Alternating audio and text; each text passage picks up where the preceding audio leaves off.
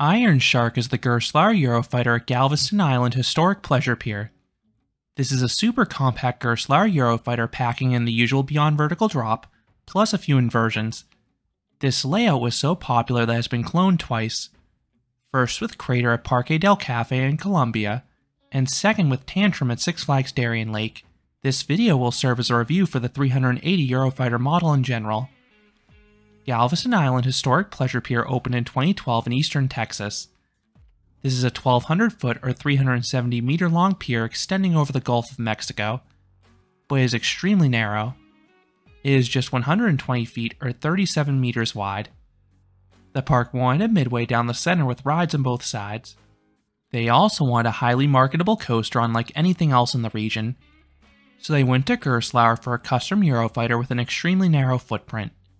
Iron Shark would be just 65 feet or 20 meters wide, allowing it to fit within the park's boundaries. At the time, this was a custom layout, but understandably has been cloned twice. It is now known as the 380 model, with the 380 representing the ride's length in meters. The ride's small footprint can fit into a lot of parks. Parque del Cafe added Krater in late 2014. This was South America's first and only Eurofighter, then Darien Lake added Tantrum in 2018.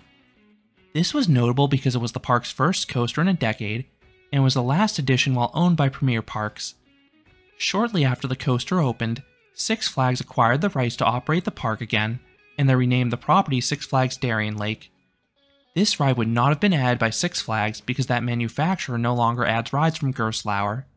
This goes back to a 2013 accident on New Texas Giant at Six Flags Over Texas a woman tragically fell to her death. While the coaster was manufactured by Rocky Mountain Construction, the trains were supplied by Gerstlauer. Six Flags and Gerstlauer filed cross claims blaming each other for the accident, leading to bad blood between the two. I have ridden two of these 380 models, the original in Iron Shark and the latest one in Tantrum. While I have not ridden Krater, I imagine the experience will be nearly identical. The two of experience in the US lack any theming, but both look really appealing in their respective park skylines. Iron Shark can be seen from miles away. It has bright blue paint scheme, and the Beyond Vertical Drop really catches your eye as you make your way towards the pier. Then Tantrum has attention grabbing colors. It has bright green track and orange supports. Not only that, it is located adjacent to the parking lot, so it's one of the first rides you see as you enter Darien Lake. All these coasters have short trains. Each one seats a max of 8 riders in two rows of 4. Tantrum is the most efficient coaster at Darien Lake. It is the one coaster at that park that operates with multiple trains. The park owns three, but I've always seen two in use. The crew can check the restraints very quickly, so it's not uncommon from the roll trains. I've never had to wait more than 10 to 15 minutes for this ride, but I also haven't visited the park on a super busy day. I have had to wait longer for Iron Shark though. This is for a few reasons. One, it's the park's lone coaster and most popular ride by far. Two, it has run just one train all my visits. This even includes a weekend visit during spring break, which is one of the park's busiest times. Three, the operators will only seat a maximum of six riders total in my most recent visit. It didn't matter which six seats were taken, but it meant the ride's already low throughput was stymied even further. The park said this was a maintenance issue, so hopefully it won't persist.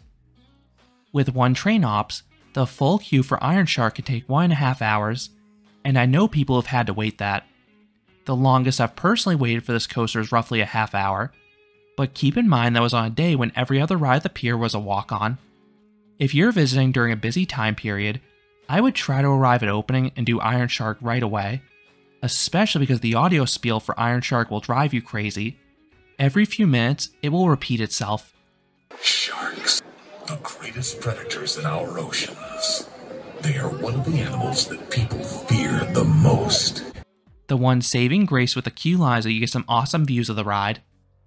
In terms of seat selection, I don't think it matters much in this ride. The forces feel identical wherever you're sitting. But if you want the unobstructed view, both parks will let you wait an extra cycle for the front if those rows are already taken. Once seated, you are restrained by just lap bars. These are pushed down firmly, but they leave your upper body free to experience the ride's forces. This is a major upgrade over the older Eurofighters that had over the shoulder harnesses. These were less comfortable and could easily cause headbanging on the model's quick transitions. Once dispatched, you roll out of the station and ascend the 100 foot or 30 meter tall lift hill. The view on Tantrum isn't anything to shout about, but the view on Iron Shark is stunning because you're at the edge of the pier. It is one of the best views of any ride. You can appreciate it throughout the layout, but it's at its best when you crest the top and are looking out over the water. But you don't have much time to take in the views before you're yanked down that 95 degree drop. This is a fantastic drop and easily the best part of the ride. Like most Eurofighters, it delivers strong ejector airtime, and it's augmented by the lap bar restraints. That is contrasted nicely by the crushing paws of G's on the pullout, and those forces are maintained as you rise up into the Immelmann. I usually start to gray out here. At the top, the train slows down mightily, and then you get some lateral hang time. This is the one inversion that everyone seems to agree upon. I have seen this model listed with as few as one inversion, and as many as four. No one seems to have a consensus here. One of the controversial elements comes next. RCDB does not classify this as an inversion, but it sure looks and feels like a dive loop. You rotate right and sharply dive back down to the ground. It feels like you twist beyond 135 degrees, so I personally count it as an inversion. The flip itself is pretty mild, but the positive G's return in full force on the pullout. Without any delay, you rocket over this small S hill, and it's the most underrated part of the ride. This gives everyone a good ejector pop. You then have another controversial element. Some call it an overbank, some call it a cutback. I lean towards the latter because it seems to go well beyond 135 degrees. The maneuver is fluid, but sadly sterile. It's probably the weakest element on the ride. Next comes the final instance of is it an inversion? It is either an inclined loop or an inclined helix. It feels more like a helix to me.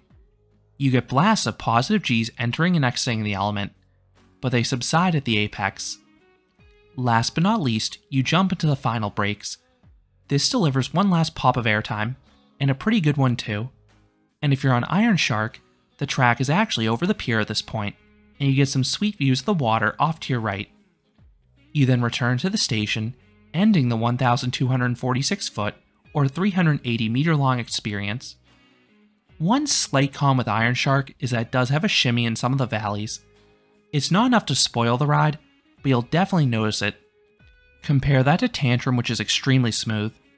Not sure if it's maintenance related or because that ride's newer, but whatever the reason may be, it is worth pointing out. So, what would I rate the Gerstlauer 380 model? I would give this coaster a 7.5 out of 10. I have a slight preference for Iron Shark because of the better location and views, but Tantrum earns the same score because it offers a smoother ride. I really like this layout. Has the usually awesome Beyond Vertical drop, a few extra airtime pops, and a smattering of positive Gs. So those are my thoughts on the Eurofighter 380 model. This review covers my experiences in both Iron Shark and Tantrum, but I would love to know if the version in Colombia feels and rides similarly. Let me know any of your thoughts down below.